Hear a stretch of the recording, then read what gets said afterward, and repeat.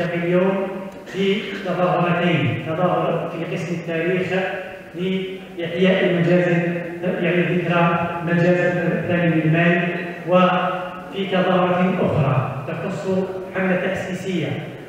في إطار الأيام التأسيسية. هذه الأيام التي تجرى عبر كل جامعات الوطن والتي تمتد من خمسة إلى عشرة مايو جامعة المدية تنظم هذه الأيام. شوف الأوتوميديو بق الخوارزميات هذه ربما لكن الناس المختصين في التقنية. les informaticiens يعرفون بالخوارزمية عملت جامعة المدية على نشر هذه الحملة في الوسط الجامعي من أجل التحسيس بمخاطر وسائط التواصل الاجتماعي والتي تعتبر اليوم هي من بين الأخطار المهددة للمجتمع بصفة عامة وخاصة في هذه الأوساط التربوية وكذلك في الأوساط الاجتماعية بصفة عامة.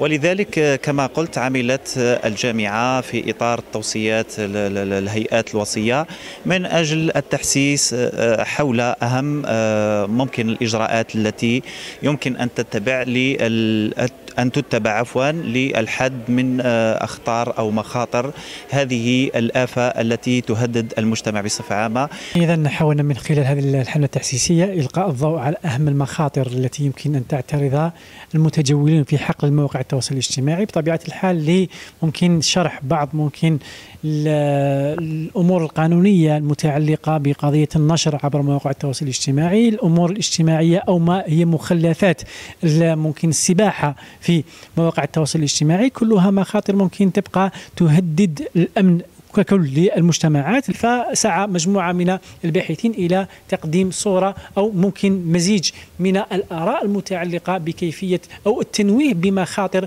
هذه يعني أو مواقع التواصل الاجتماعي لغرض ممكن الوصول إلى توصيات أو إلى ممكن خطط ممكن بديلة لغرض ممكن التعامل أو كيفية التعامل لأنه لا يمكن القضاء قضاء تاما على مواقع التواصل الاجتماعي فهي حقيقة لا مفر منها ولكن إيجاد الآليات والميكانيزمات اللي بها نتعامل مع هذا الواقع الافتراضي